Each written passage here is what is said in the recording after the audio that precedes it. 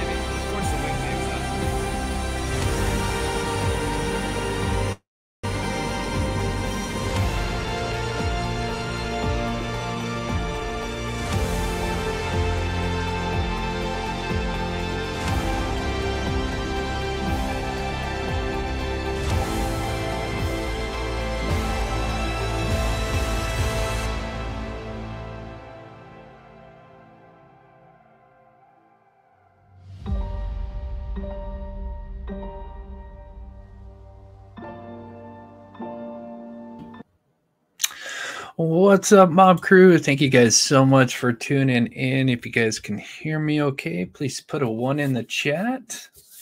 Good to see everybody. Uh, let me get this started there. All right. So, thank you guys so much for tuning in. I am Chris with Monsters Under Our Bed. I cover murder, mystery to the paranormal. And today we're going to be covering uh, the Alex Murdaugh trial. Uh, we got some more control tests courtesy of Steve from True Crime Web. So please um, go and show some love to his channel and subscribe if you haven't already. Um, he's just done amazing work. Um, every week he's putting out uh, new control tests, and uh, they've been amazing. So, um, all right, thank you so much for putting ones in the chat. You guys can hear me okay? That's awesome. So before we introduce the co-host for today, we always like to get back by featuring the missing. So let me get my screen ready here. Uh, let's see. We go. Perfect.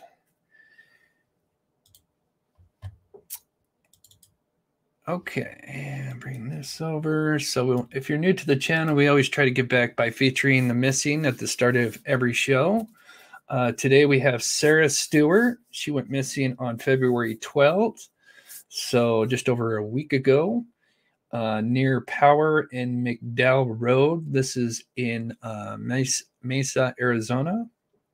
Just 26 years old, 5'1, uh, brown eyes, brown hair, multiple tattoos on her shoulder blade, forearm, and uh, and on her upper chest. She was last seen wearing black sweatshirts and black sweatpants. Uh, Nightmare Before Christmas logo on it. Uh, it says down in the notes uh, she has a white 2017 Buick uh, Verano, and it says she has not been heard from since Super Bowl Super Bowl Sunday. Um, let's see anything else on there. So if you have any tips, please call 602 876 1011. All right. And we've got one more. And we have uh, Austin Madsen, who went missing sadly on January 27th uh, in kind of the southern air, uh, southern part of Utah, kind of uh, north of Bryce Canyon area in Garfield County. Um, he is 6'2, skinny build, hazel eyes, longish brown hair. Uh, he was out there doing some snowshoeing and uh, some hiking, and uh, he was in contact with some family and friends. And then, unfortunately, uh, they didn't hear from him uh, since the 27th. And um, this is the area he kind of went missing in. This is uh, kind of southern Utah. The circle here is kind of the area. It's, it's called Black Canyon is where they last saw his truck and or where they found his truck excuse me and where his uh, footprints they kind of tracked him for a bit and then lost him uh, he did make a note um, that he was going to possibly be heading south to Kanab or Arizona, but I don't know if he made it that far.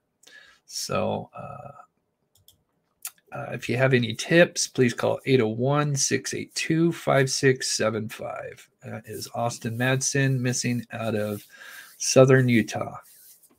All right. Uh, mods, let me know how the chat speed is. I've got it kind of set at a low number since I think StreamYard doubles it um, or YouTube doubles it when I have StreamYard on. So uh, if it's slow or fast, just let me know. And we'll go ahead and introduce our co-host for today. Hey, Steve, how you doing, buddy? Doing fine, sir. How are you?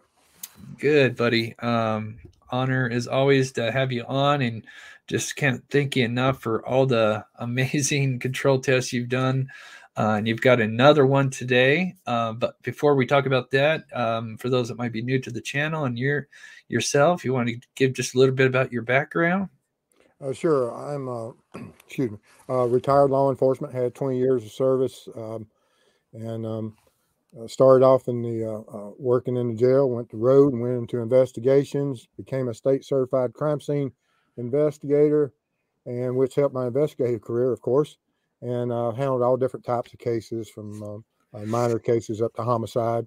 And after I retired, I decided to become an ambassador for law enforcement and on YouTube channel and um, with the web sleuths, and that's what's brought us here uh, today. Yeah, and you have just been uh, crushing it out of the park recently, and uh, just uh, amazing. And um, well, so I yeah, without you for the fact that I'm up there uh, working and uh, uh, setting up everything because it takes a while to set up the scenes, and then I send you the stuff and your creative abilities to to make it where it makes sense and flows well um, is a little bit better than what my uh, skill sets are. And I thank you for assisting and helping me. Yep, likewise, buddy. Uh, Rockin' Dawkins, uh, what constitute reasonable is decision by the jury. So true. Yeah. Uh, yeah, it all comes down to what the jury thinks, and it's it's going to be tough because uh, even though I'm in my opinion he's guilty, or I think he's guilty, um, and there's uh, just because he's there minutes before uh, the shootings happen. But it's not like they have that smoking gun. They don't have, you know, uh, the weapon, you know, the uh, just that one thing that you know solidifies everything. They've just got, you know, that that's that video, which is, you know, pretty uh, damning, but at the same time, is it enough? Um, it's a circumstantial case mm-hmm. all the way. So true. All right. Well, like I said, Steve's been busy again. Uh, so I hope you guys are excited for his new little control test he did. Uh, I think some people. Okay. Uh, Chris, Steve is a bit quieter than you. Do you need Steve to turn up or do you need me to go down? Can you turn yours up at all anymore? I think I'm at like 97% right now. Okay. Can you just hit 100? I think that should be good. I'll turn mine uh-huh. just a tad down. There's a little bit. He does have a different mic. Uh, so, but I'm going to get the video ready while he's uh, adjusting that. I mean, you sound good. I, I don't think it's too much of a big difference. Let me know in chat though. So, as I'm getting the video ready, uh, Steve, because I think a lot of people don't realize how fast uh, when it comes to, and I have to be careful using red rum uh, but how fast that happens, uh, it's you know usually these kind of things are over pretty quickly. Um, just like in the Brian, uh, you know, the Idaho student case with Brian, uh, a lot of people don't couldn't wrap their heads. Well, some people couldn't wrap their heads around it happening in just a few minutes with you know just a knife, but uh, according to your expertise and you know your experience, uh, usually that stuff happens. It's over pretty quickly. Absolutely, it is. Um, and um, you know, uh, anytime in close quarter battles, people fighting for their lives um, is extremely um, uh, volatile and dynamic and fluid, and a lot of things happen really quick. It's not uh, like you see on uh, TV where they're able to slow it down to slow motion. That's just not the way it is in life and death situations. Yeah. Okay. All right, so uh, we'll, we'll, start the video. The first part of it is I just kind of snipped in uh, just for those. I, I, think most of you guys know the timeline, but for those that may not know this case, I just threw uh, the first kind of part of my video in just to kind of lead it into um, what Steve did. And basically, what Steve did is to show kind of how fast you could take out two people. Um, and this does not reflect exactly what happened, but it's just to show how fast it can go down and I, I think it's you know it's a great test to show how fast uh, it can be over with. Maggie went to the kennels using one of the ATV slash side by sides. Alex, so maybe I'll, I'll, I'll turn this down and just kind of uh, narrate myself here. But uh, so uh, the timeline, you know, we have from twelve to uh, six thirty. Well, six o'clock approximately. You know, Alex is at work, leaves work about uh, 620, gets home, I think 640. Paul then arrives shortly after. Then they go riding around for about an hour. And then Maggie shows up at approximately 817. Uh, they must have ate dinner pretty quickly, like as soon as she arrived. And then, of course, according to Alex's alibi, he says he goes to take a nap, says he's watching a little bit TV, and says he's on the phone for a little bit. But uh, all those things can't be true because his phone was supposedly off by 809 suspiciously and uh, anyway the i think the most likely scenario is the timeline is paul maggie and alex uh, go to the kennels sometime after around 8.30 or a little after um, it's possible they could have taken side by sides one thing i is also possible is they could have taken maybe a side by side in paul's truck or just went paul's truck there's a couple of different scenarios on that. Um, but anyway, as we move forward here, I'm going to go ahead and play this. Mysteriously show no activity between 809 until 902. And this is something that I we got to go back on, Steve. Uh, victimology and uh, habits of you know the people surrounding these types of events. Is this something that Alex normally does? shuts his phone off for an hour. Uh, somebody that's known for uh, being on the phone all the time, is that normal for him to turn off his phone? You know, so we'll, we'll come back to that though. That's one of my big questions. Meaning he most likely shut it off just after Maggie arrived at the house, which means he was getting ready to execute his plan. Maggie, Paul, and Alex would leave for the kennels on one of the ATV slash side by sides sometime around 8:30 p.m. And during this time, both Paul and Maggie would be active on their phones. While at the kennels, Paul would have a four-minute call with his good friend Rogan, and they would talk about Rogan's dog Cash, friend, and would read his last message at 8:48 and 59 seconds.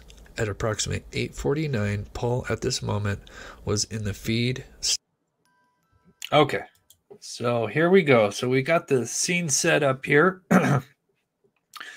which you did the best you could. Now you've got the bodies. Um, I can see you've got Paul's body at the bottom. Let me see if this uh we're oh that kind of blocks us. Oh maybe i'll switch it back and forth as, we go here but on the bottom left there uh, it's, it's kind of hard because he's kind of in the camo suit but you've got one mannequin down and you've got another mannequin in the top here. That's to uh, replicate uh, maggie at the top and then of course paul's body at the bottom right?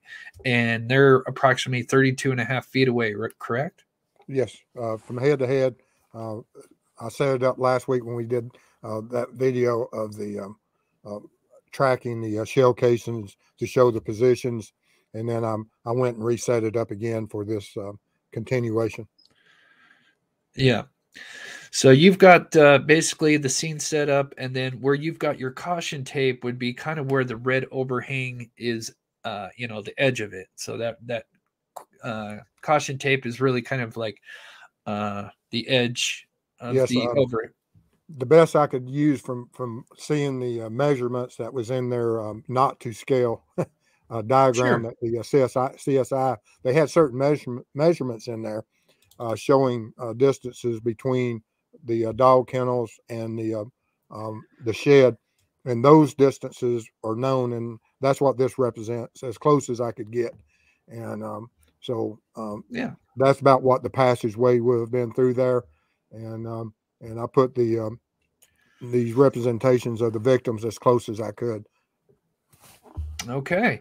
All right. So we've got the time. So now this is uh he's just showing in this te- uh, control test how fast uh this could have went down. Now this now is this exactly how it went down like as far as time wise? Probably not, but this just kind of shows uh how fast things can go down. So we're gonna go ahead and play it.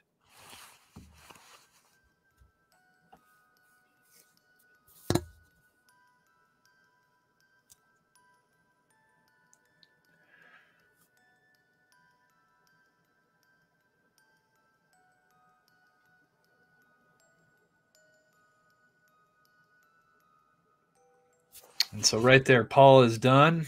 It's already 15 seconds in. I'm, I'm assuming even that would have been pretty uh, almost accurate as far as time wise. I mean, it, that would have been probably over pretty quickly. Just Paul's scenario. Um, from looking at the blood trail inside the room as it comes across, it appears that all the uh, the uh, the blood trail is evenly spaced, it's constant, it's consistent, so it shows solid movement. There was very little of hesitation during that blood trail, um, and then of course when it gets to the door and the uh, second and fatal shot occurs, then of course there's massive uh, uh, uh, blood uh, from both the gunshot wound and of course uh, as he lied uh, on the uh, concrete surface, uh, whatever the natural um, bleed out would have been that would have gathered in that area. Okay. All right. So we keep going now. Uh, so this is kind of to replicate if the guns were sitting in the side by side over just under the red overhang here. Yes. Um, and you switch to blackout, and already, bam, Maggie shot twice, or actually shot once, but two fire shot. and this represents going into the chicken or the bird cage. Yeah. And those three shots. Now, of course, that probably is not exactly how it went down. He's just showing how fast things could go with two people uh, when they can't defend themselves, and that was 37 seconds uh, flat um, that you uh, took out two uh, two people. That's it's crazy how fast uh, things can go down. So and to I'm me, to kind running now. I'm I'm running probably half you know half speed of what some of the uh, uh, but uh, Alex and I are uh, approximately saying I think I'm four years older. I'm 60 years old now, and so um, uh, and of course handling firearms you have to be safe. And uh, was the offender moving faster or slower? I have no idea. Yeah. So to kind of re- replicate a little bit more accurate uh, version, and of course we we're never going to know exactly how uh, it went down. Uh, I, to me, in my opinion, I think the timeline of uh, the shootings happened between 8:49 to 8:53, basically three to four minutes. Uh, but it looks like this could have been over even quicker, uh, minute to two tops. But here was even when I slow you down. I can barely even get it close to a minute when I slow you down here. So we'll play it one more time and we'll kind of discuss it here.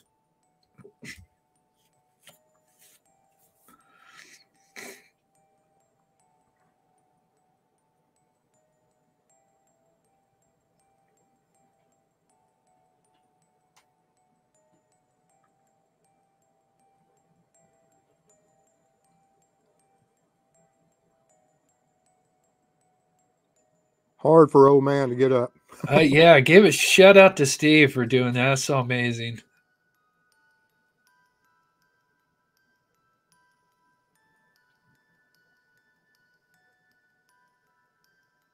Like I said, I've got this slowed down and it doesn't even look like it.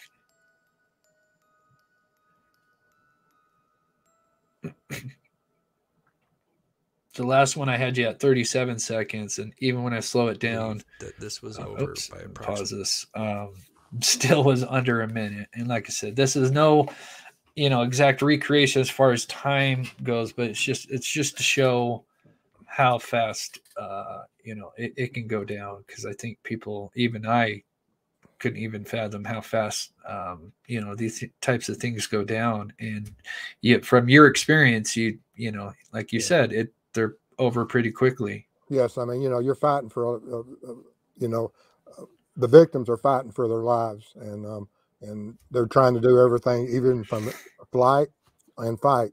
Um, and um, if as they do that, you know, um, it does takes up some time, but it's not as much as um, now for the person involved in that time period. Uh, time does slow down because your your uh, uh, mental capacity. I mean, it's running a thousand mile an hour, and it feels like. And people have been there. You you you think about uh, when it's going on with you. You have this tunnel vision, and you feel like you're moving in slow motion. That's Yes. just due to that you're processing everything so quick. Um, uh, you know, every everything in your brain's clicking on all cylinders, and you're trying to figure out how to survive this thing. And um, so, um, as this went on, the people involved in it, uh, it was seen uh, like a longer time period, but it would have been something representative of this. Sure. So it it would have been over pretty quickly. I'm sure not 37 seconds, but it's just kind of an example of how how fast it, it could go down. Um, Yes. Well, I especially think if you it went down pretty close, pretty quick. I, I don't think there was any long struggles or because um, uh, uh, there would have been a, a, a longer flight trail or fight uh, trail, uh, and um, um, and we don't have that. We have two clusters of, of, of shell casings, Mhm. and so those two encounters and the uh, trail of uh, casings tell a story, and it doesn't take long to fire six shots. Uh, then it doesn't great. take long to fire the two shots for Paul either. Right, right. Uh, amazing. Uh, and we we've got some more uh, stuff that we're going to look at um, a little bit. Uh, yeah, we'll we'll keep it going here. There's tons of little tidbits that uh, I, I wanted to get Steve's uh, opinion on, and uh, and then also, uh, well, I'm gonna go ahead and play it, and then we'll get to it here. 8:53 as Maggie's phone would be handled at approximately 8:53 and 15 seconds until 8:55 and 32 seconds, where it records 59 steps, and at 8:54 and 54 seconds, the camera on the iPhone would activate for 1 second because the phone sees a face, but it doesn't unlock, meaning that the shooter, who most likely is Alex, is handling her phone. At 8:55 and 52 seconds, her phone has one more orientation change, then is most likely put away in a pocket. It's unclear what happens next, but going off data from the cell phone and SUV data, I will put together the most likely scenario. So knowing that the shooter Okay, so this is uh, the next part we're gonna because now I've got you here.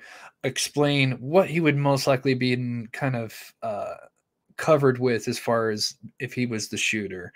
And I'm gonna quickly grab this. Amy Lawyer Lawler. Uh, how did the tire mark get on her leg? That's a good question. Now, defense, I can't remember. Is it the defense wants to say that it's a shoe print? The prosecution says it could be um, the ATV, right? I think each, my each side is arguing. there's uh in the CSI world, a lot of the uh, shoe print experts are also tire um, uh, impression experts. And oh, really? Oh, okay. Yes, makes, kind and so they sense. run uh, because they're all looking at uh, the same type of uh, rubber uh, characteristics, and um, Oh, yeah, and that's so- right. and so uh, they're a a lot of them cross training that, and um, we know from the prosecution that they're going with that's a tire track from the ATV. The defense was mentioning shoe, and they have a shoe expert coming in. We just don't know which way that uh, uh, when the attorney mentioned shoe expert, is that really the way they're going to go with it, or are they going to go and that it is a tire print? Um, just don't know. Interesting.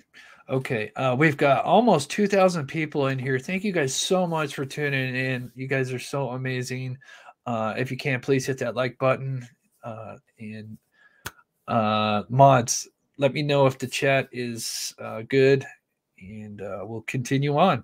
So now this is kind of a show what kind of high velocity blood spatter is kind of what we're going to look at because that's most likely what's going to get on the shooter slash or Alex. would be covered in blood spatter and gun So this is what his shirt. I, I had to edit that out because YouTube's been kind of they didn't like that that that like part. the no, they didn't like that last time. Yes, I, I forgot I had to edit that out. But basically, he has kind of a bag of fake blood. uh, that when I shot it, it creates a cloud that when you have this kinetic en- energy, that uh, when it makes contact with a human body, there is a you have forward spatter and and back spatter that occurs in the uh, the world of blood spatter. And uh, blood spatter analysis, you look at those high velocity droplets. These larger drops here are not the high velocity droplets. That's just whereas it was part of some of the uh, human tissue or the representation of the ballistic gelatin that went downrange and created those. But if you see the little small dots that's in the background that you you really can't see too much of them, but um, in this picture it's a little dark. But if you brighten it up and enlarge it, you'll see that there's a lot of um, um, of these droplets are down to the size of a uh, straight pin, either the head and all the way down to the uh, the size of what the sharp needle point of a straight pin is. I mean, they get extremely small, and um, you can analyze them, of course, and that's what in CSI you're looking for is that high velocity blood spatter because that tells you that um, the person that has a high velocity had to be within a short distance, just a few feet of being around that uh, victim um, uh, to uh, have this on their person. And the forward spatter, of course, goes a further distance, but the back spatter will still travel. Um, and as you can see with this pin, this little straight pin, you can see some of those droplets. Um, yeah. But um, but that backspatter will also come uh, backwards uh, towards the offender, and it gets on the firearm, it gets on the hands, the arms, the clothing, the shoes, and uh, because it just creates and goes in 360 um, and uh, creates this fine mist, and um, that's what we look for in CSI. Yeah. Um, so he that would have definitely been on him for sure, uh, in the shooter. And uh, yeah, these tiny little dots everywhere that are even some of these are so minute, but these are the high velocity uh, blowback that you would receive. And of course, uh, from testing his clothing, he most likely changed. And that's what we're going to talk about next. And you even noticed something that I haven't really seen anybody else mention. Uh, he was seen without a belt. yes. Uh, we'll come back to this phone here. I'll, I should have put that towards the end, but um, we'll talk about Maggie's phone as well. And you even did a test um, to see if you could create that distance. But so here is his clothing that uh, well, this was taken at 738. Correct? Yeah, 738. And we have this uh, seafoam shirt, the the housekeeper calls uh, khaki pants, and he's got the brown shoes on and it's it's kind of a crappy detail but uh, let's see if i can do this. Maybe we can see a little better. But uh, you notice he's actually got a belt on. Yep you can only see it for one little frame there. Comes up quick but uh, yeah you can clearly see there's a, a, a belt. It's it's a little grainy um but clearly that belt uh yeah, I noticed that when uh, uh, you were showing the interview um, right there, uh, he didn't have a belt on. And, yeah. Uh, uh, like I said, uh, habits are hard to to break for old people. we wear belts. I wear a belt everywhere I go. Uh-huh. And, um, doesn't mean that he doesn't, but I mean I don't know what his natural habits are. Um, his friends and families do, and they know what his exact habits are, and and they would be able to relate more. But just speculating that it is odd to me. Yeah. Uh, maybe he was in a rush, couldn't get that uh, belt back on. And I mean, there's so many possibilities, but he was, uh, in my opinion, definitely in a rush. And we're going to kind of, that'll lead into our next segment here. Um, so here's the two different uh, clothing here. I'm going to go back here so we can kind of see. So we've got all the two different outfits. Clearly, he had changed at some point.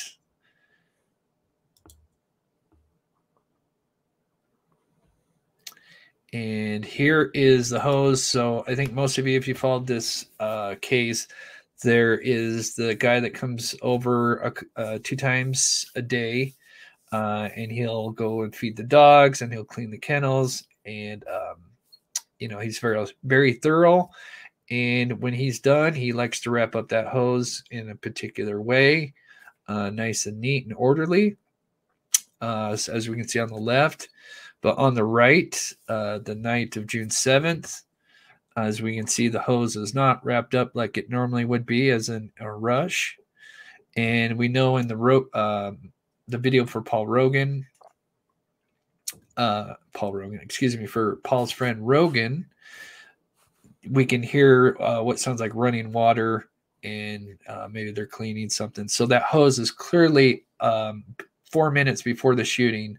Clearly, this hose it's stretched out over by the feed room. So keep that in mind that that hose is out there close to where uh, Paul would get shot. And I'll play this a little bit more.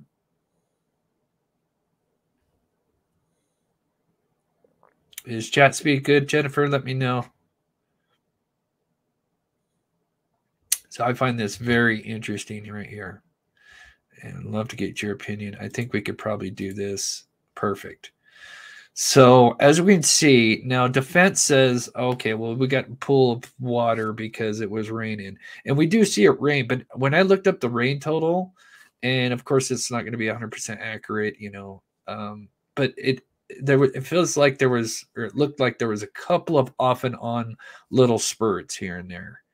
But there is so much pulled uh, by this officer, and it looks dry more towards the left.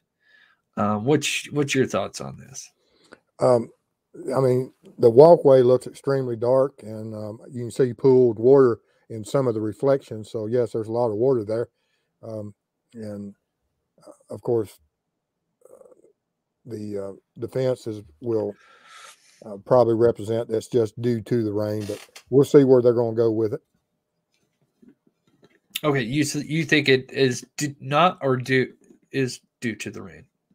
I I really don't uh, believe it is. I you know uh, I don't know if the windy conditions would have blown it under there or not. I I really don't know what the uh, uh the weather report was for that. Yeah, day. it wasn't really windy. I mean, we we get to see the rain come down, uh, and to me, uh, just in my opinion, I think this is where he hosed himself off just to get the the the matter off anyway. Yes.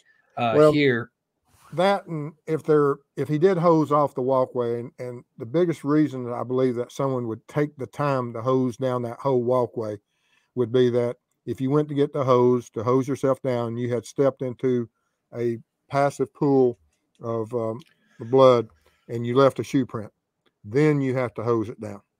And you, you more than likely would have to hose down the whole area so law enforcement wouldn't look and see that, oh, there's only a certain place that's been washed down. Why? And which tells CSI that if you only have one part of the walkway washed down, we're going to focus and see what's there because you can still go back and uh, process it with some of the uh, uh, chemicals such as luminol and things, and uh, it's extremely hard to um, um, get rid of uh, patterns and things that are transferred, such as shoe prints that could have been on that walkway if they'd stepped in um, um uh, Paul's blood. Yeah, yeah, you can hear clearly hear the the water going. Thank you, Paige. Yep. Um, some say you can even see the hose for a second. I'm still trying to find that, but um, now, someone, oh, uh, Davey said there's no mud. Now, that's a good point, but at the same time, you got to remember this is uh, 10. Oh, gosh. Uh, this is so 8.50, let's say 9 o'clock. We're looking at at least two hours approximately. So, since somebody would have cleaned themselves off, so would it still be muddy? I don't, I don't know. I guess that'd be a test. You know, remember, it's really humid that day. So I mean, stuff would dry pretty quick. I mean, but I'm not a an expert in that. But so I, I think that's kind of 50 50 on that. Um, but of course, defenses, that's their argument. They say, I just feel like it would be more consistent um, uh, with the water. As I'm going to play it a little bit more, and you can see. Oh man, I'd love to get to that walkway right now. It, it wouldn't bother me. I'd like to get there and uh, uh, process it even today. it's just there's so much there, and then you got this huge dry spot over here, you know, in the middle. I mean, it seems excessive.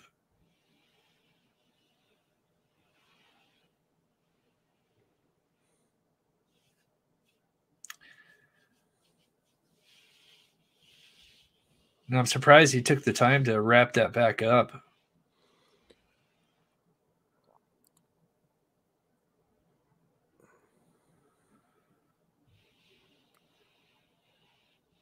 And then, of course, uh, the defense kind of chewed them out for stepping on the, you know, around the area there.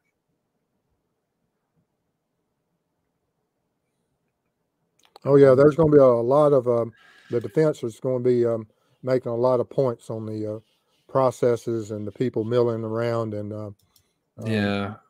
and so we'll see that and they'll hammer on the uh, crime scene process and as much as the prosecution hammer on the uh, uh, financials.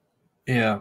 Now I wonder if they have this. Uh, just one more before we move on to the next thing. I wonder if they have the kennels set up to where the water runs a particular direction. You know, Would- do, do they have it slanted to where it run towards the kennels and they've got some drains, or is it they- more probably led to the uh, dirt? Mo- yes, uh, if where there's a drain uh, line uh, or something, they would have had it slanted on the slab um, so it wouldn't run away from um, inside the kennels. I would imagine. Yeah. Okay. Um, keep going here. Hope I didn't miss any. Uh,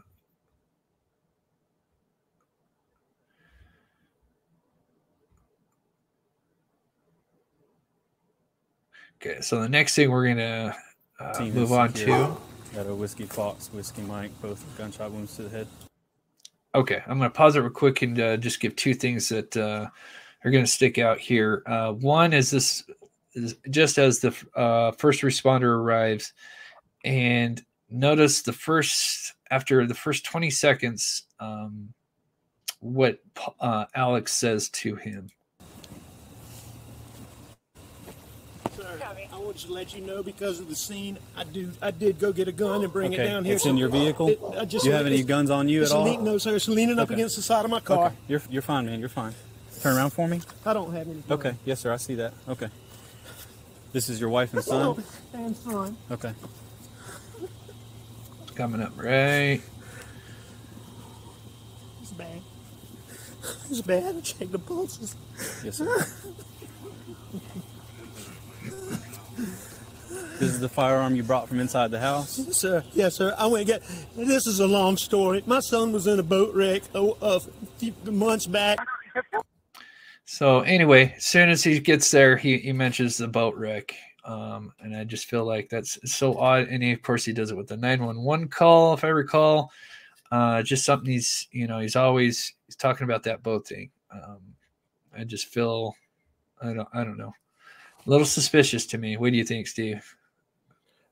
Yeah, I mean, you know, um, Uh, I'd be more concerned um, about what uh, is happening here at the scene and uh, my safety and my other family members' safety and the officer's safety and my personal safety versus, um, you know, bringing up that. So it is kind of odd, but what happens in thought processes in these uh, high uh, stress situations um, is odd, but is it possible that he was just trying to rationalize what and why. Um, and of course, that's the way the defense is going to present it. He's just trying to figure out why it happened and wanted the officer to be aware of. And um, the prosecution is going to say one way, and the uh, defense is going to say the other. Okay, so we're gonna get back to that video and we're gonna look at the tracks, um, and because I kind of blew them up a little bit, uh, and I thought they were interesting. And then, of course, we, we've got a bunch of little other things. And then, if you missed the first part where we did Steve's thing, we're gonna show it again at the end. Uh, thank you, Phoebe, for becoming a member and supporting the channel. Thank you so much. Uh, yeah, any donations, uh, much appreciated. Uh, help support this channel and allows us to do the things that uh, we're doing like this here. So thank you so much, Phoebe. All right, this is just one little thing that I noticed. I've heard this 911 call a million times, and every time there's something new that I hear that's just weird. Anyway, this is kind of towards the beginning, and this is kind of when they're switching over to the operator. You know, he starts with the female. Um, or wait, 2147 Moselle Road. I need the police and the ambulance immediately. My wife and child just got badly.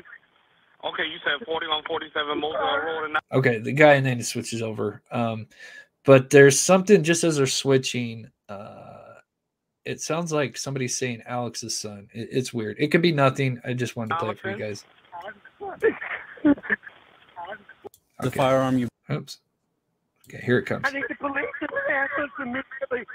My wife and child Let me know what you hear in the chat. It's going to come like literally as soon as I hit play here. badly. Okay, you said 4147 Moselle Road in Allison.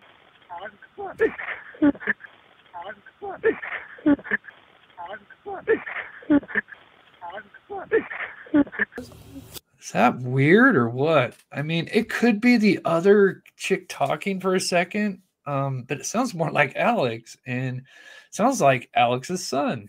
I don't know, just weird. It's just something out of the blue that I heard. Um, like I said, every time I hear that 911 call, there's always something odd that I I discover on there. It could be absolutely nothing, just weird. Okay, now we're going to talk about the tracks. Uh, okay. When did you get home? Right, Um, right when you called, or did you go to the house first? Where is the house? I came to the house first. My mom has late stages Alzheimer's, and my dad is in the hospital. Okay. I left. I don't know what time. I can go back on my phone and tell you the exact times. Did you check? Okay. Did I check what? Did you check them? The, the, we got medical guys that are that, that's that's that's what they're gonna do. Okay. What are they doing? Can they hurry? They are. Yes, sir. That, that gentleman that was out here already, he's one of the battalion chiefs. Okay. So this is uh, another. Uh, this was leads up into the tracks, but I I played the first part of this because this actually he asked him, okay, what were you doing this, you know, what you know what was going on? Give me the timeline. And just as he starts to talk, then he he um, does his little thing where he just uh, switches the subject. Well, not switches the subject, but Tell talks you the exact times. Did you check? Okay. Did I check what? Did you check them? The, the, we got medical guys that are that that's that's that's what they're gonna do. Okay. What are they doing? Can they hurry? They are. Yes, sir. That, that gentleman that was out here already, he's one of the battalion chiefs. Okay. And of course, he already told him that they were dead uh, on the 911 call, but now he's wondering, are they dead? I know uh, that's been, you know, talked about millions of times, but just just odd. Okay. All right. So here are the tracks, and get your thoughts on this, Steve. And uh, let's see. I'm going to try to make it bigger for everybody. See if you guys can see this here. Um, oh, let me grab these real quick here. Uh, we got it paused here. Annabelle, Annabelle Smirk, thank you so much for the super sticker. Um, he really told on himself. Happy to be here. I love that. Thank you so much, Walkie Talkie. And thank you so much, Jane B. You guys are so awesome. Yeah, he does. He's he gives up a lot of information. Uh, and we'll we'll play a couple of clips as well. But here is the tracks, which is interesting. Um, Okay. And so uh, that is loaded. Okay. Um, you might want to unload it. But I mean, Is this the only firearm with you? This is the only one, or is there any more in the truck? I believe that's it. You think that's the only one? Okay. I'm 99%. Do you normally certain have right. any other firearms in your vehicle? I don't, but Okay. occasionally there, uh, occasionally there's a pistol in there. Okay.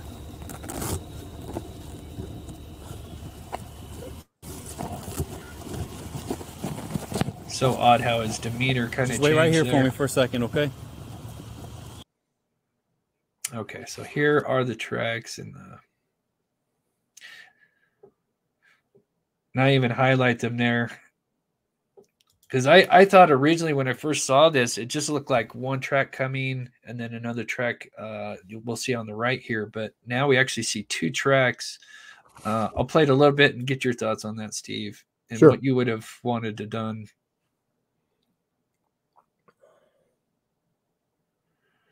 But yeah, clearly looks like two tracks. Um, with how close they are, makes me wonder if those were two side by side tracks. And then, just just in my opinion, from watching this, it seems on the left to me looks like two side by side tracks. On the right, we've got uh, possibly his tracks that came in. Uh, what do you what do you see here, Steve?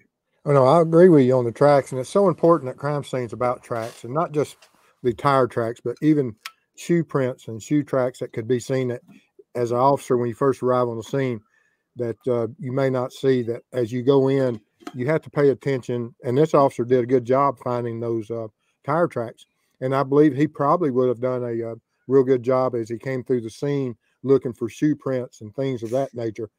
And uh, the point that I'm trying to make is is that once you establish how you go into a scene from law enforcement, you set out the guidelines that everyone else walks that same path. Oh, So that uh, in the future, whereas law enforcement, if they're just milling around away from a certain path, you can lose or destroy evidence. Whereas if you set off a corridor that this is the way I came in, this is our safe path, and you pay attention to that, just like this officer found these tire tracks. And then when you find those tire tracks, you have to evaluate that we've got to enlarge the crime scene because we don't know what's uh, can be determined.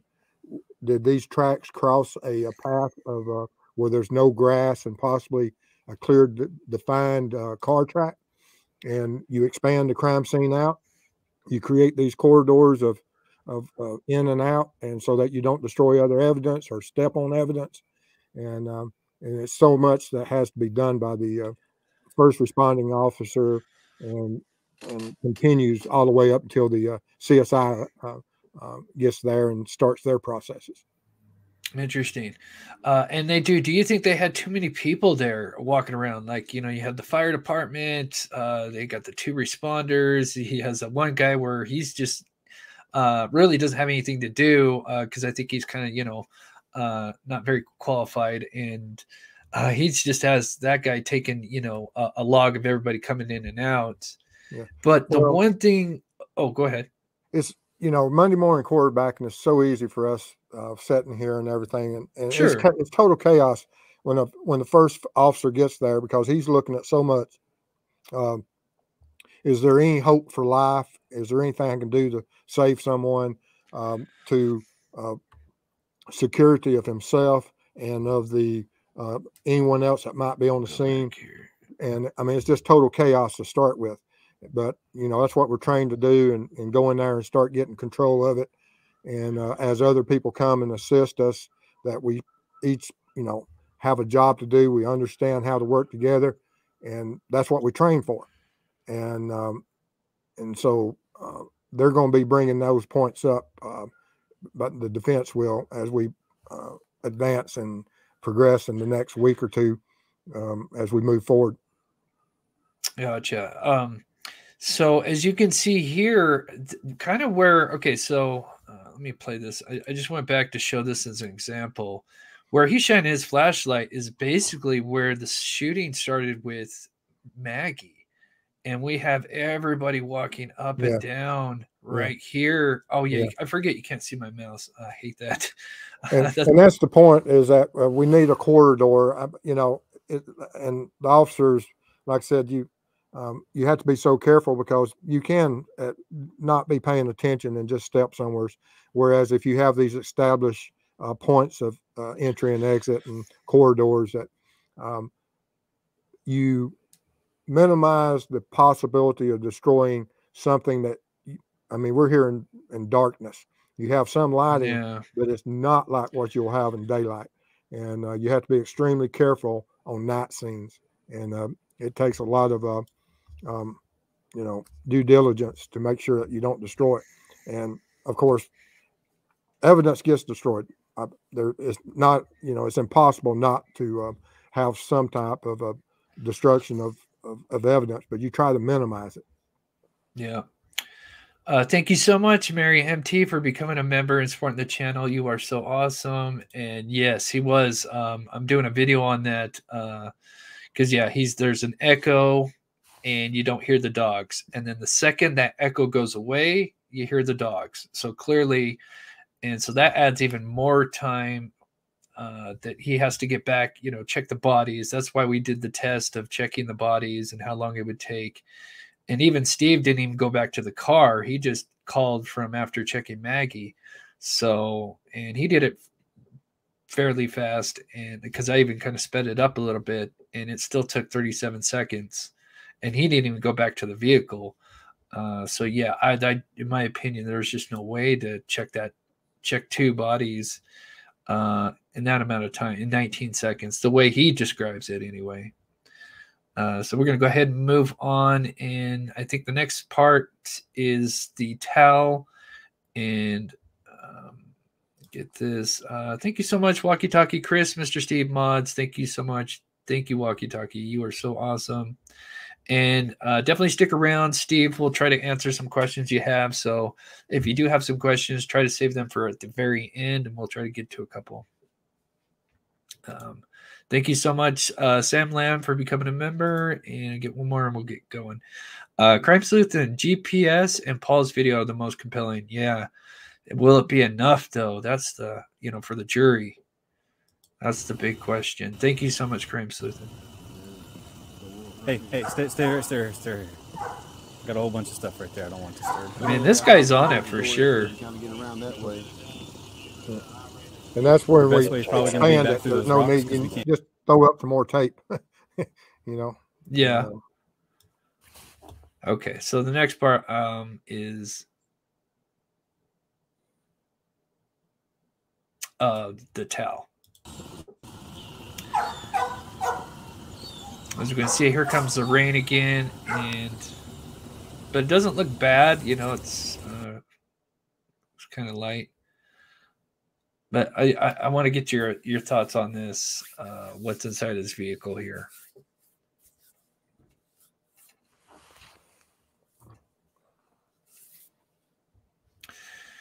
You are right, we're, we'll talk about that as well.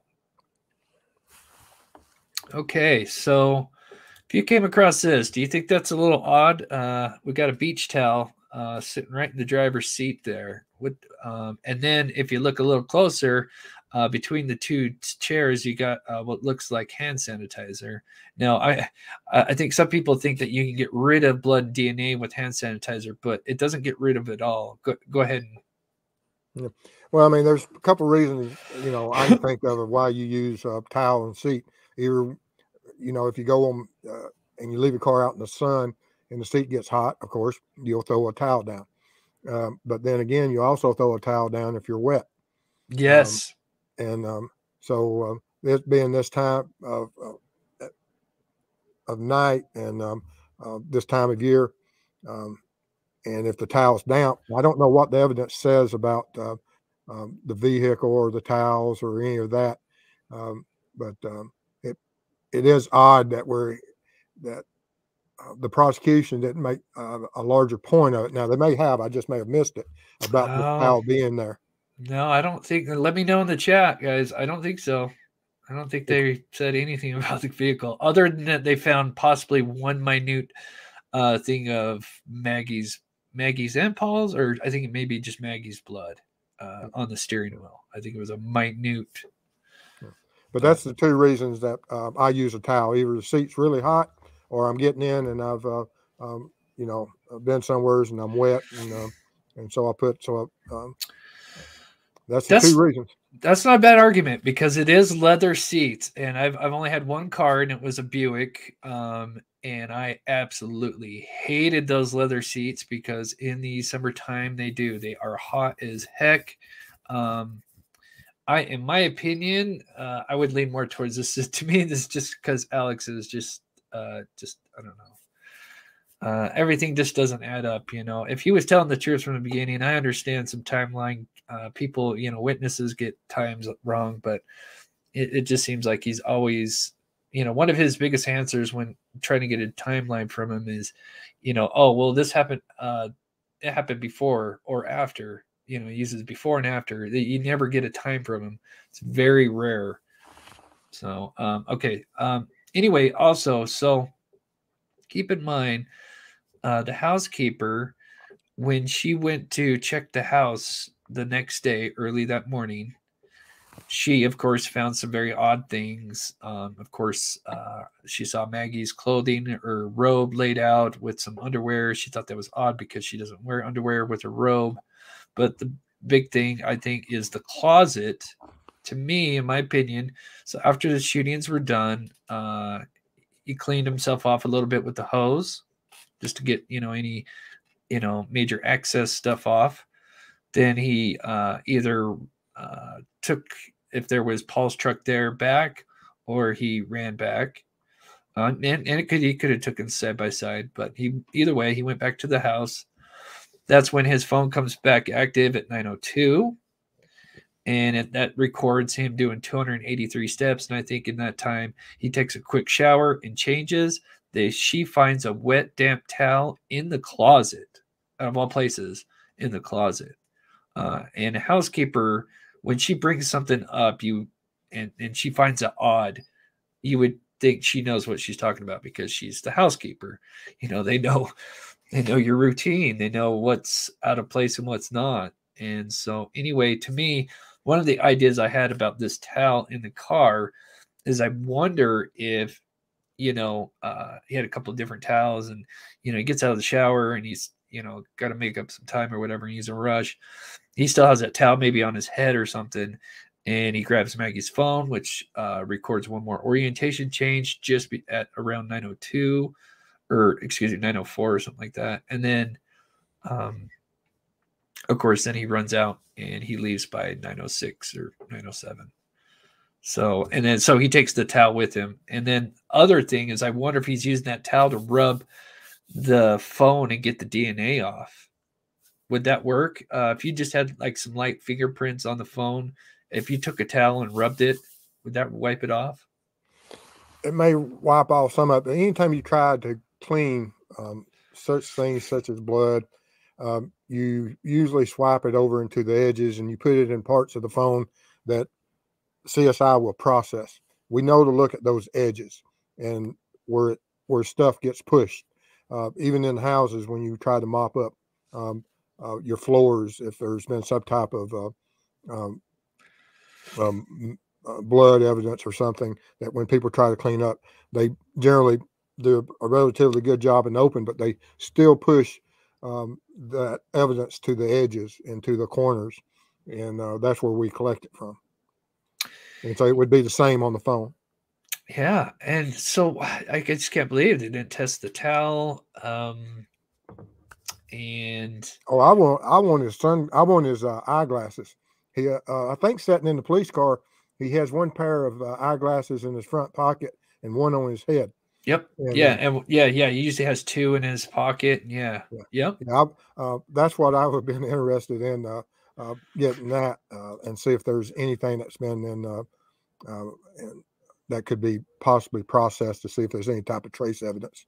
Yeah. So, uh, quick question before we move on: Would hand sanitizer remove DNA? You know, anything can dilute DNA to the point that, and it depends what's in the hand sanitizer because there are certain chemicals that will destroy DNA, and um, I don't know what type um, they had, if it was alcohol based or otherwise. Yeah, I heard that actually certain hand sanitizer, if you use certain components of it, can actually uh, clump it up together, the DNA uh, it was interesting. I, I came across it just before the show, and I was like, "Oh wow." Yeah, there's probably so many studies out there done.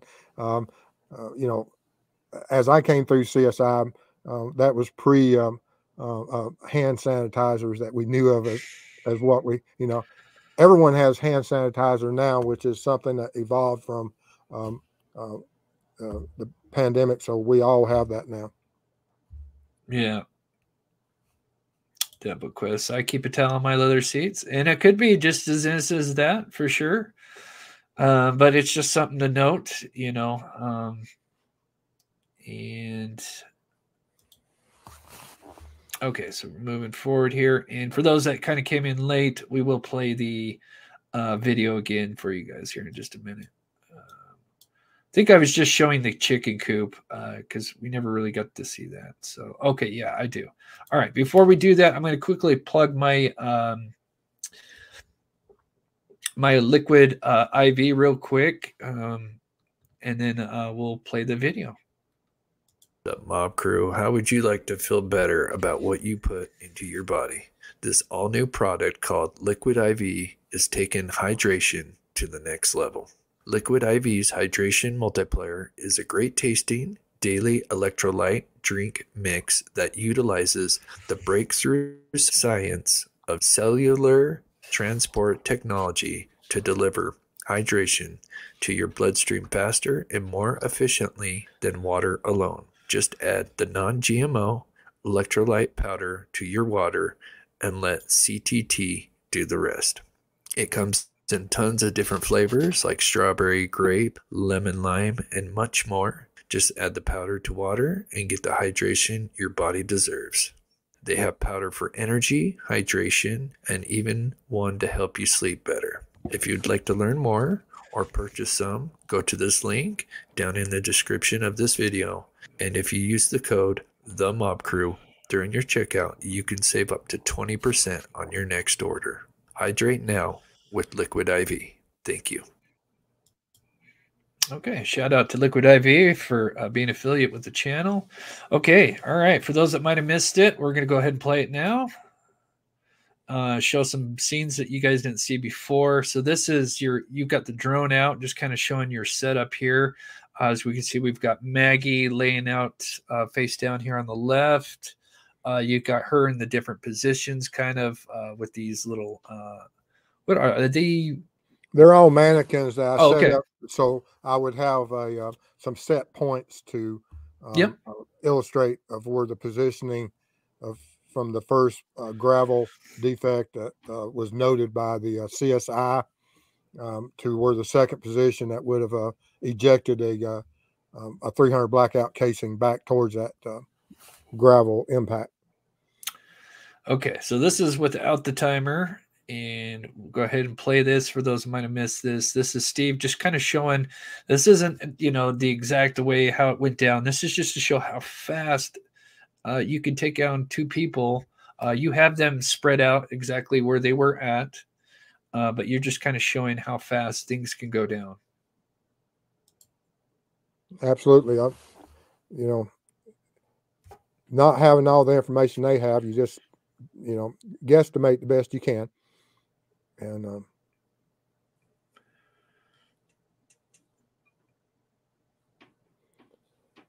the old 12 gauge it, it will rock your world. Yeah, I don't think I, I fired a couple of guns, but not a 12 gauge. Uh,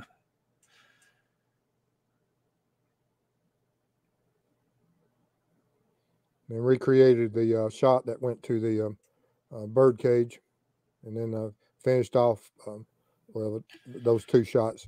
Now this is the um, um, I did a comparison of the uh, final shot with the 12 gauge shotgun because the expert was uh, describing how large of a, um, a pattern that the shot shell once it gets three feet away about how large that uh, shot shell pattern would be and this is at three feet and um, i have uh, i did two which i ran two runs on the uh, of the recreation and those are these two shots and both times were within a second of each other um, and so um, i did one run uh-huh. the one that you show is my first initial run and then i went back and did the same run just to make sure that um, um, it was in case of my drone footage, if something was messed up, I had a, a backup plan.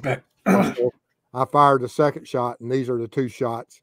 Um, and um, but I, it is also a good um, uh, example of what that pattern would be three feet from the um, end of the muzzle, and the choke. Uh, and for people that don't understand what choke and shotguns are, shotguns uh, the barrels can be constricted at the end to either that when the shot comes out, it will expand or it will constrict by using different types of chokes. This Oh. and uh, so that there's different purposes for shotguns and. So it, it won't spread as much as what you're saying the spread when it comes you- out. When you get the full choke, it is Uh-huh. something that chokes it down fully to a very uh, small or as small as you can with a shotgun without uh, damaging the gun. But then you can start using other chokes, um, interchangeable. Some shotguns have them, some don't. Uh. Some of the higher end, almost all the higher ends will have uh, interchangeable chokes. And uh, this here, I think, is a modified choke. And um, you can see it's uh, uh, when the expert said that um, at three feet, an inch and three quarters, uh, Uh-huh. and this is pretty close to that, as you can see with the measurement rule. It's perfect. Uh, Ellie, thank you. Uh, not beach towel, but swim shorts. Your email. Okay. Uh, if we get time, we'll go back and look at it. Um, you could be right. Interesting. Thank you, Ellie. Uh, one thing I want to add on this because I, I've gotten it quite a few times, well, a little bit anyway, is when we recreated Paul, which I mean, it's gotten great reviews on it. Uh, one thing people don't realize is you're you're shooting just styrofoam and some gelatin. You're not re you're not reenacting the whole face like skin. So No. we, we understand that his face is far, part of his face is still intact Yes. because people see this and go, "Well, that's not how it happened," because he still had the front of his face. No. Well, Uh, yeah, I we can't, can't recreate skin. um, yeah, yeah, I can't rep. I can't go out and recreate the skin. Um, Yeah. I don't have that technology. Now, there's probably uh, things out there you can use for that, but uh, my budget doesn't allow that. Yeah. And uh, One oh, day, yeah, one day maybe, but uh, no, um, and and no way are we trying to say that this is exactly what it is. But it, uh, the ballistic gelatin and the uh, uh, synthetic uh, blood that I use will give you accurate results of how human uh, tissue, muscle, and uh, uh, blood reacts in uh, uh, when they're shot with a uh, high velocity um, either rifle or a shotgun. And uh, the kinetic energy as it uh, creates that forward spatter and back spatter, it does a great job of uh, representing that. interesting. Uh, great question, Patricia. I wonder if the shotgun knocked Alex on his butt. If he was kind of on that downward, could that have caused him maybe to trip backwards? Well, I mean, you know, uh, being someone that has fallen during certain situations, um, and step back, and it's something that you have to train for that you don't do it. Uh, and it always does occur at the worst uh, situation. Now, if you take a step back and your heel catches, such as on that threshold, yes, it's very Uh-huh. possible he could have went down. And I, I believe that it's something of that effect that probably did happen. Um, um, that uh, uh, either he was down. Now, doesn't mean he fired the gun from his shoulder. He could have been on the floor or on his side, and um, the gun could have been almost on the floor, or even the butt could have been sitting on the uh, concrete area, and he just um, had that angle and Yep. uh, pressed that trigger, and it uh, uh, struck and created that fatal uh, uh, gunshot wound. Interesting. Okay, so we've got uh, a little bit more. We've got another 30. I mean, we still got a about half a show left here. Um, and thank you guys so much. We've got uh, 3,300 people in here. That's so amazing. You guys, uh, it's really, it means so much for you guys to take the time out of your day to watch the show. And uh, like I said, a lot of stress. I give, I give most of the credit to Steve for all his amazing work and he throws it right back. So uh, it's, it's really cool. But um, thank you, Animals, our angel, amazing name, uh, for the uh, super sticker. And okay, so this little part I'm going to play, and then we're going to talk about uh, what's coming up is the possibility of two shooters and why is the phone thrown out. Uh, we'll, we'll talk about Maggie's phone and some theories on that, but uh, I just want to play this one part, uh, just one of the many things where uh, we catch Alex kind of uh, giving up some details. So I made a few phone calls, Okay. and Where was Buster? Buster was in Rock Hill. Okay. Is that where he lives or? No, he lives in Columbia, but he just started a new job. He he's going back to law school in January, Okay. so he's working a little part-time job um, with Wild Wings Okay. uh, uh, through January. Gotcha. You know, just kind of killing time. And he was in. Um, his girlfriend lives in Rock Hill. She's studying for the. I left my mom's and uh, Okay, so he's asking him, you know, the timeline. He's asking about the timeline. Uh, it's coming up here in just a second what he says. I went back home. I got to the house. Uh, I went inside. Nobody was there. I got in the car. I went back to the kennels and Went back to the kennels. Yeah. Now, I will say he does say I went back to the house, could have just been slipped, and he just said, you know, I went back to here, went back to here, went back to the kennels because he's been at the kennels before that. But to me, I think that's a slip up. What do you think, Steve? Because Oh, technically. Um, he, um, which you know, once again, he goes to the kennels all the time. Um, and is he is it a slip up for that night, or uh, or is he just talking in general? So um, you're going to have it argued both ways by either the prosecution or the defense. right, uh, right. But it could. And when I first heard it, I said yes. Uh, that was one of those slips. and uh, Yeah. uh, but you, you know, don't want to be overly biased. You have to try to keep open mind. Um, Sure. And, um, Yeah. and and let the evidence drive you to whichever way the evidence drives you. Yep. Um, so just kind of looking at chat here. you know, And you, when you went back to the Definitely kennels besides rehearsed. Maggie and Paul, did you Tried to- see yeah. anybody, any cars? I didn't see Take- take anything your right then, no sir. Take your time. You know, I saw Maggie and I saw Paul laying down. I knew, you know, I didn't know, you know, I, I knew it was bad. I went over there and, you know, I saw it. Yeah.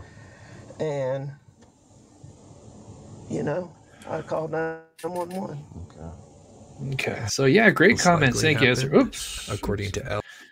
Uh, yeah, there's been some amazing comments in the chat. Thank you guys so much. You guys are so awesome. And now let's see, we're gonna switch over to my other one here. Bear with me. Okay, so let's see, where should we go first? Let's just pull up this uh, timeline here. Here's just kind of the overall basic timeline. Arrives to work a little after noon, uh, leaves after 6:20, gets home at uh, before seven. Paul arrives shortly after.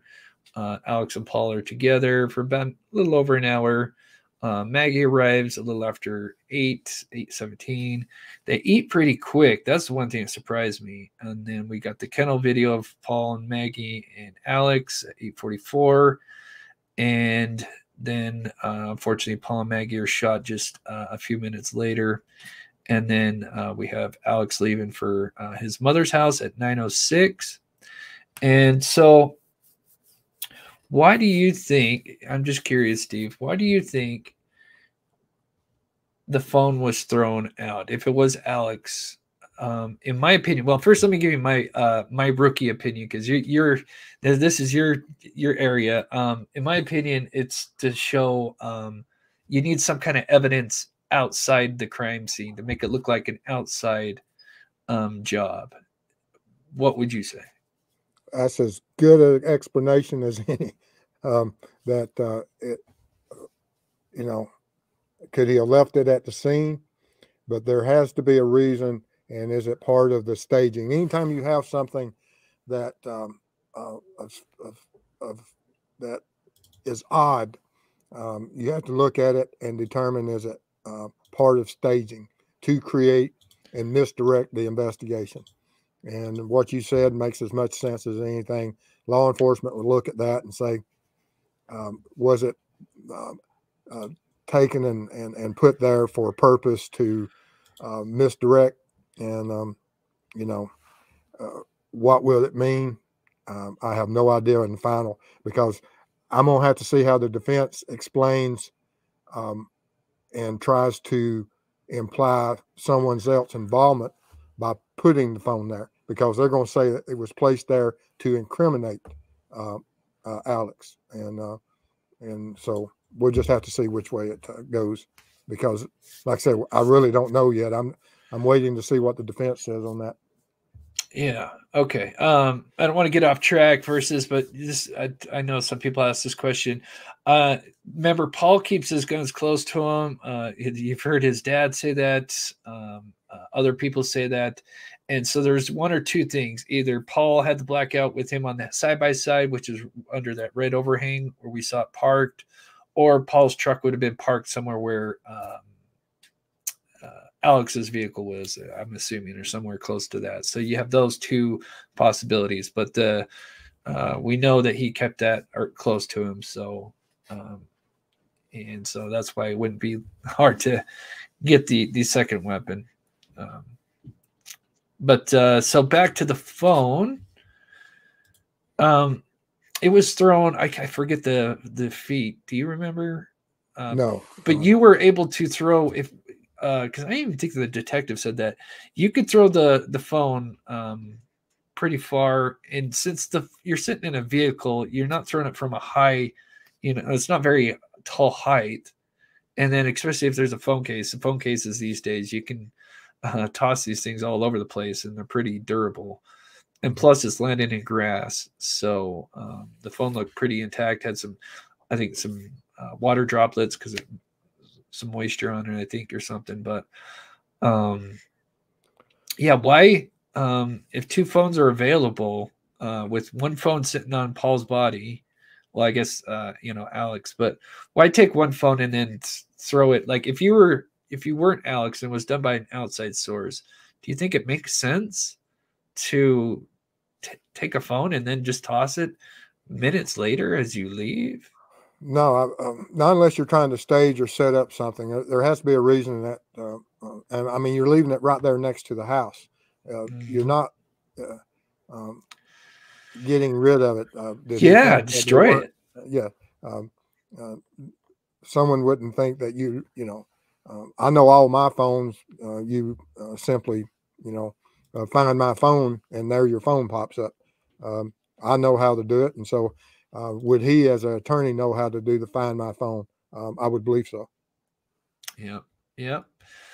Yeah. Unless he had put the guns there because he had set up had he had set up to do what he was planning. Yeah. I I think when he turned that phone off at 809 uh, before Maggie arrived, uh, to me, if you remember Idaho student case, Bryan Kohberger, um, somebody who studied criminology and all that stuff. Uh, in BTK, and what did he do before he goes? He turns his phone off, and then turns it back on. You know, just after. Um, so that's another video. That's a video that I want to look into and look at all the calls that they were deleted. Uh, that's a great question, Tanya.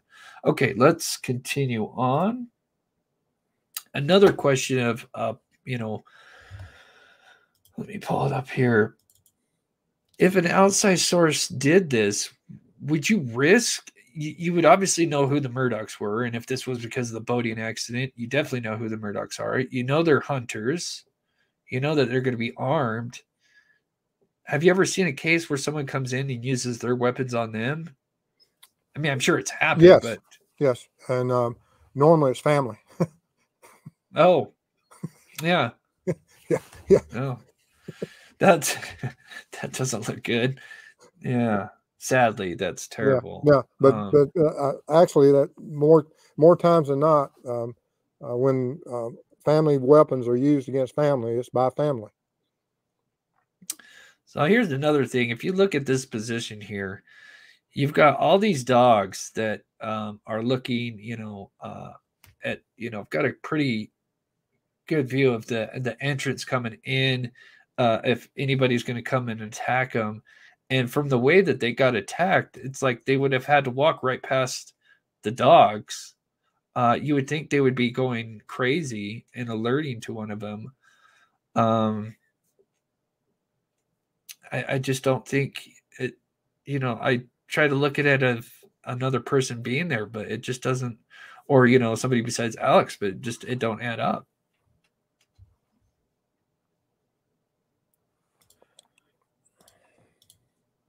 Okay, so this is the uh, another big one. To me, I think this is huge, and I wish the prosecution would have looked more into this. Victimology, something I learned from you, Steve. Yeah. Alex had his phone off from approximately 809 to 902 on June 7th. The shooting happened between 849 to 853. Uh, just coincidentally, his phone's off when they get shot. Now, is Alex, who is known to be always on his phone. He's talking with clients. That is his job to be on phones, you know, talking with friends, family, clients. Um, you, hear from people that testified saying, yeah, he's always on his phone, the bookkeeper. Um, and so, do you think they should have looked up his previous phone records to see, hey, is it normal for him to shut off his phone for like an hour around this certain time period? Yeah, and, as far as victimology, law enforcement when they first got there, they're looking at him being part of of of uh, Maggie and Paul being the victims, and him um, discovering that he is a victim. And so, but at some point, this victimology will have turned into a offender profile, and um, and they will have changed. Early stages, yes, it would be considered victimology. Later, uh, once the charges come out, it would be a offender profile. Um, so um, and uh, but there are certain points of where the victimology changes over to the other uh, stages, and um, but um, but they uh, they're they're parallels exactly because you look at everything about that person, what they were doing in the days leading up to the um, um, the homicides, um, the hours leading up. You build as uh, big of a digital footprint of this person's habits uh, Right. long term. And you apply it and you apply it to both the victims and then you apply it to when you do, turn it over into a offender profile of what they were doing. And then um, uh, the offender profile of course is what led us and for him to be charged with these uh, uh, charges Is there any ability by asking Google Earth has satellite imagery capture a crime taking? You can get private uh, pictures, um, images. Uh, we're actually kind of doing that for Dylan Rounds, but uh, it's hard in certain areas. In the quality, obviously, it's from the satellite. You're not going to get there.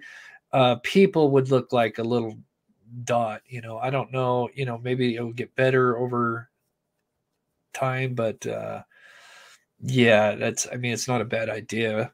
Uh, maybe one day uh, the satellites, but uh, it's kind of scary to think about. But yeah, Well, we have so much uh, uh, digital cameras and, and things out there now. You know, um, look how they um, uh, have used it on the uh, Kohberger case in Idaho.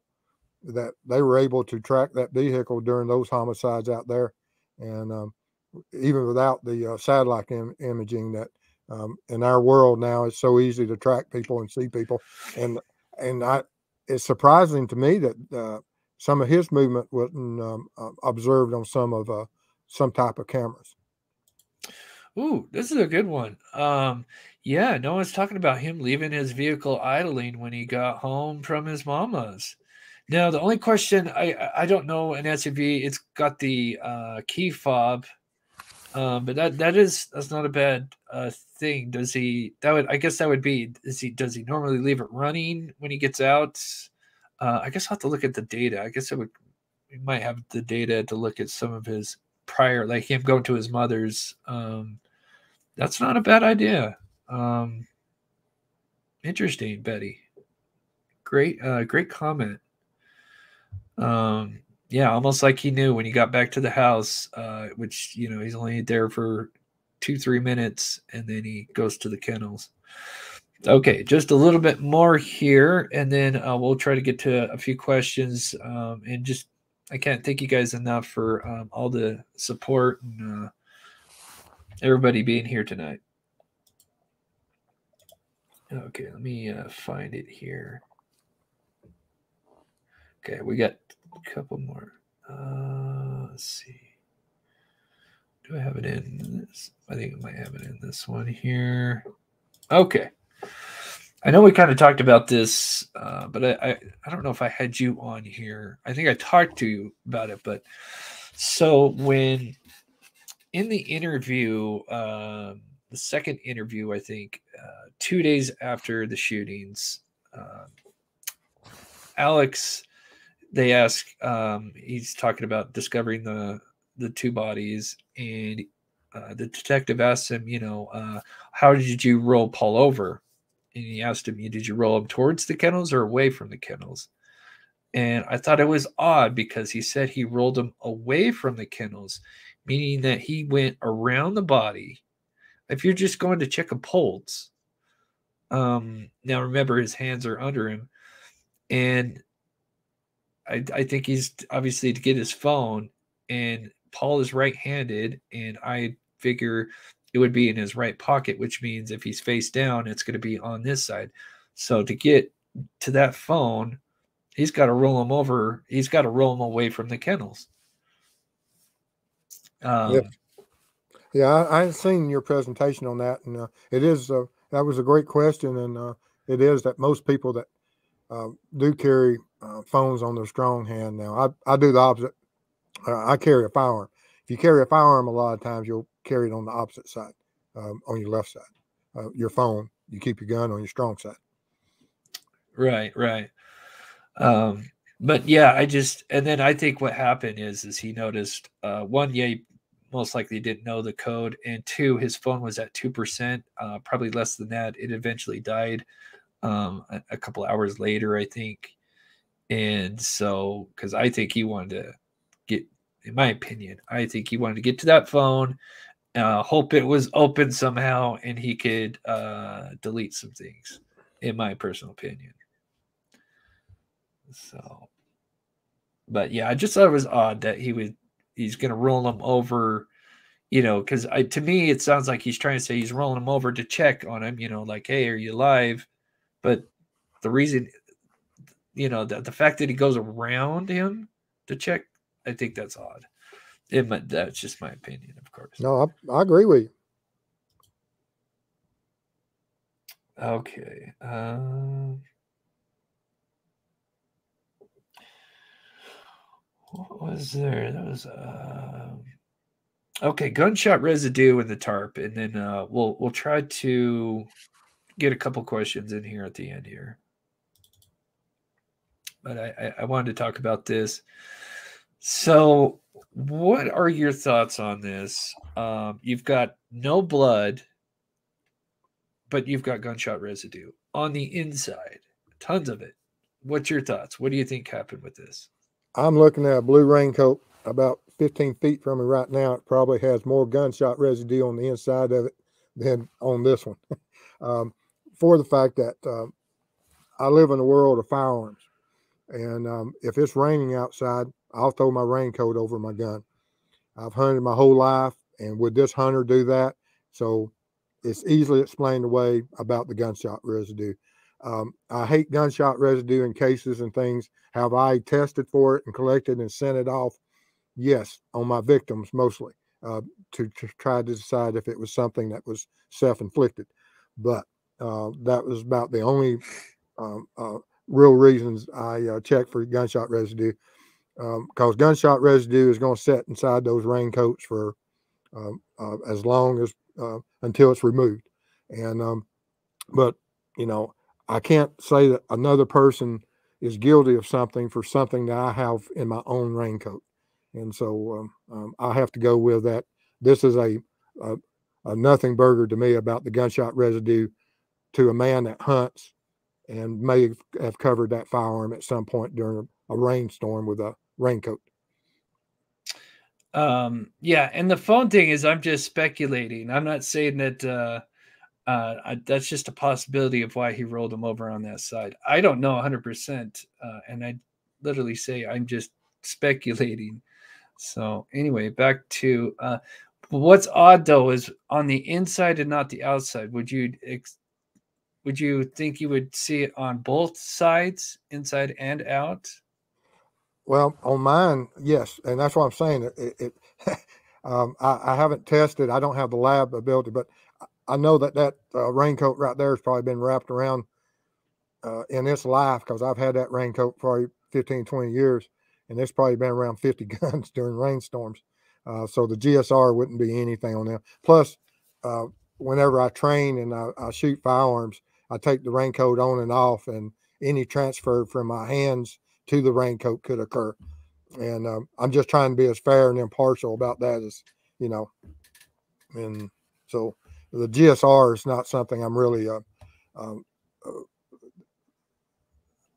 feel that would prove innocent or guilt either way. Yeah. So the the I don't know that to me it just seems odd that there's so much on the inside but not on the outside. I would think maybe it'd be a little bit of both. But then there's no blood. That's the other thing. So I don't think did he, you know, was he wearing something then he put, you know, put this raincoat on, but then you would think they transfer some kind of blood to it as well. I, the, the raincoat's a huge mystery to me. Mhm. Yeah, and like I said, it's um, um, um, I, I really don't put a lot of weight on uh, that. Now, if they're if they had found any type of uh, of, of, blood uh, transfer, then of course I might go uh, more towards a uh, that was possibly involved. But unless there's blood along with that GSR, um, I don't really put a lot of weight in that. Oh shoot! We actually win. Come on, get back. Uh, there we go. Yeah, it's on the right screen. So I played this a couple times. I know some some of you guys see it, but I just gonna play this one more time because some people think that he may have done this with the raincoat, but uh, I think you've kind of debunked this. Um, even with the barrel sticking out, you said that uh, if you shoot uh, Oh, a shotgun with the barrel even sticking out of a raincoat, you're gonna still shred shred it a bit, Yes.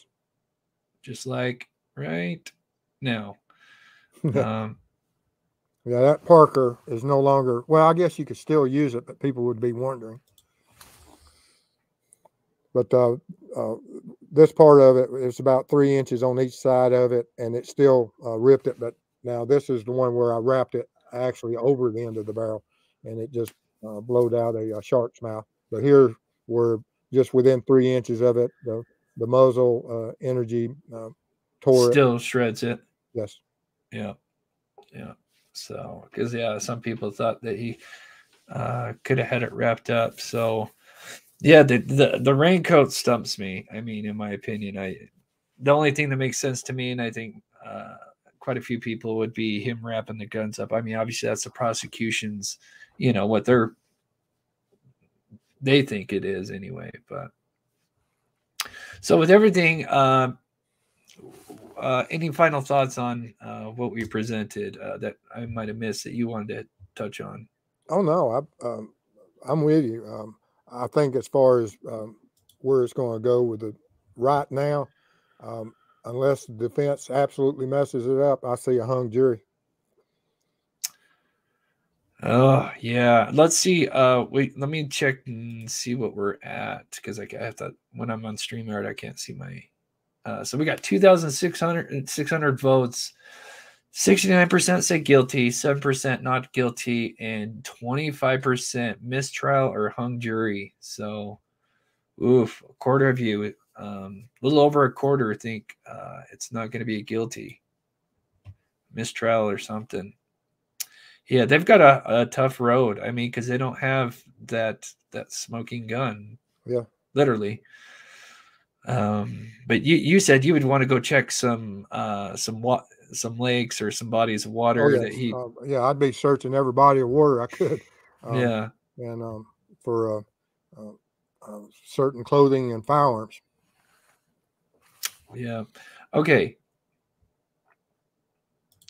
oh this is a good question yeah for the gunshot residue could he have carried his clothes in it Um, if they're if he's used to clothes, whoever is the offender that shot Paul, and if it was Alex or or whoever, that uh, that uh, uh, individual uh, from that range and that angle and being um, in that position will have some type of backspatter on them. I, you know, I'm almost, uh, you know, uh, as positive about that as possible uh, for the fact that the uh, the gun was so close and it created such a catastrophic gunshot wound. Um, and when you create that type of injury that uh, separates the brain from the skull, and you have this um, a massive blowout of uh, human tissues and blood, it goes 360. And so that individual would have had a large amount of uh, transfer on them uh-huh would have to clean up. And if they cleaned up and they transferred it inside of a raincoat, you would still have that uh, uh, body tissue and blood transferred into the raincoat. So if it's not on the coat and they couldn't find it and test it and locate it, um, it would be there. I, would think with uh, the technicians and the lab uh, uh, technologies being able to locate. Okay, I'm gonna try to get to some more questions. Oh, I saw one, and then the I don't know, like my chat disappeared for a second, and it, uh, that was a good question too. Um,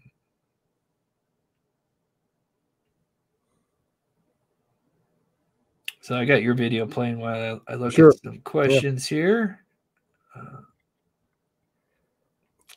So Yeah. um, yeah, um, there's no doubt I have gunshot residue all over me all the time. It's just Yeah, that's a, a comment that I saw too. Uh, just for somebody, yeah, avid hunter, uh, some items that they're going to find near the house would just, uh, just have an innocent explanation because of the fact that they do shoot all the time.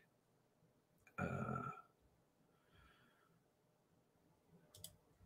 uh, it was raining off and on towards the night. Um, if you look, it you have to really search hard. But I mean, clearly in the video, you see the officer when he's arriving. It's raining a little bit, and the I think it, it kind of rains off and on at least twice that night. Uh, to me, I think it's. I mean, I don't know 100% how. I mean, the the time that they're there, we see it come down for a little bit, but it ain't nothing huge. Um, me this. and there's that's a, a- another thing I want to do a video on. Uh, on those two tracks with the spacing, uh, I, I know it's kind of hard. Do you think that leans more towards two side by sides, the way they're they're almost parallel with each other? oh, I'm I'm horrible at guessing um, uh, the the de- the field depth of uh, whatever that body cam is. um, Okay, so you can't what tell. range it is. Sure, and that's uh, understandable. Yeah. So um, uh, we don't have anything really to scale at that distance to show. So um, um, whenever I'm in, like in the feed room, we knew the dimensions of uh, five foot or um, 10 foot by basically 10 foot, I think that feed room was. And so it was easy to do that. But on a horizon that you don't have anything in the background to tell distance, I'd, I'd be totally speculating on that. Yeah. Um. oh, I I saw the question, but I can't find it. So someone was asking about the tarp and the raincoat. What the heck was going on? Uh, basically, we- Alex after dinner. basically is we there is the raincoat, but I think the housekeeper or the nanny or um, caretaker saw him come over at his mother's and say she saw a tarp. She was 100% convinced it was a tarp. So I think they introduced the tarp, and that's why it wasn't tested because they were just showing, hey, is this what you saw was a tarp? Is that that's I believe that's correct. Um, Yeah, there's uh, they had a tarp in court for the prosecution, and then they um, um, they've argued it, and so um, what will the defense do with it? I don't know.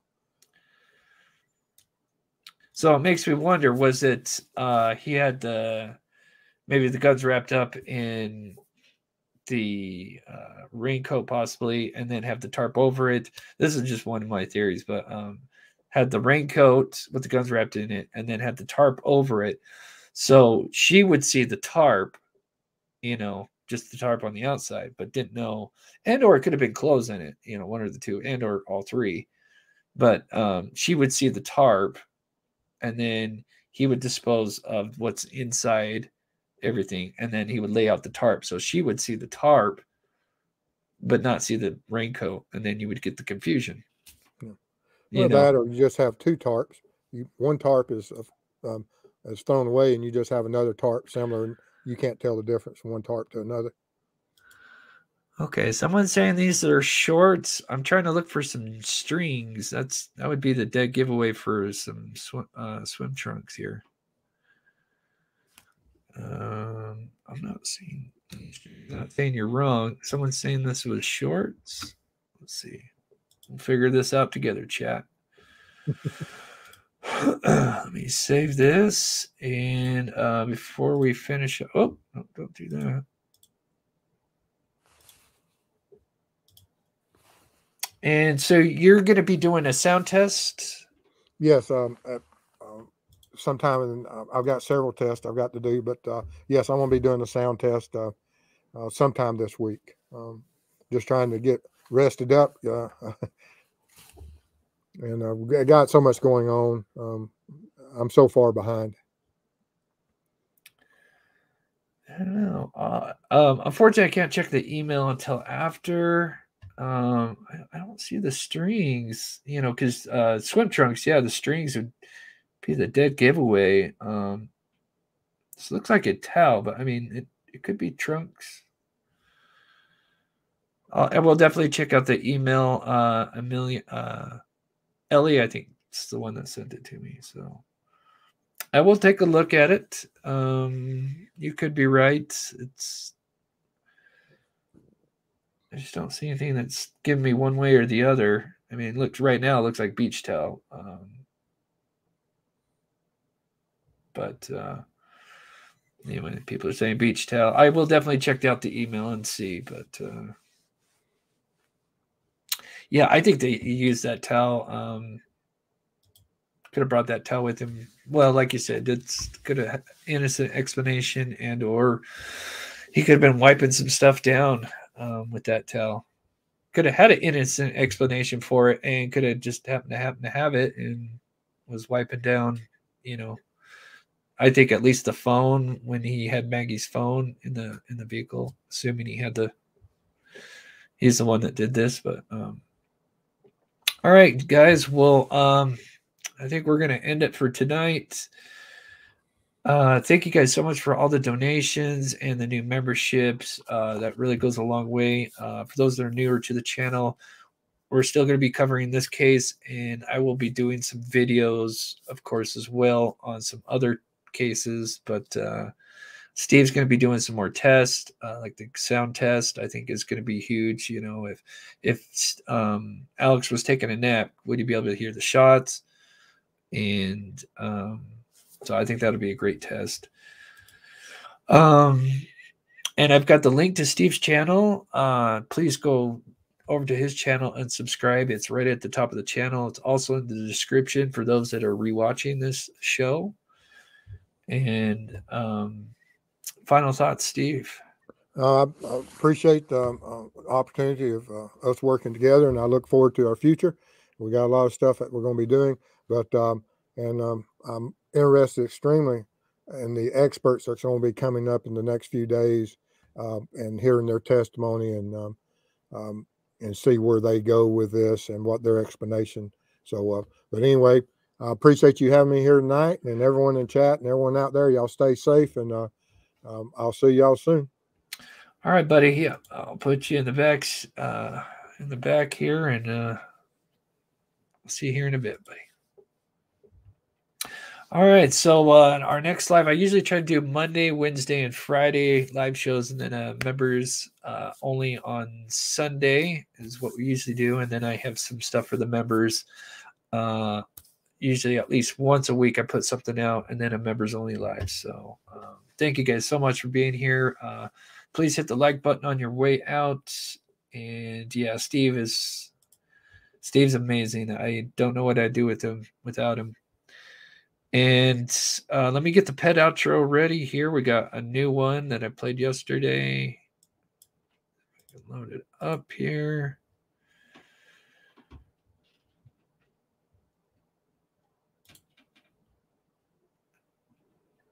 And if you haven't seen any of the other videos, go check them out. We've done so many tests, and um, you know most of them are uh, courtesy of Steve. So,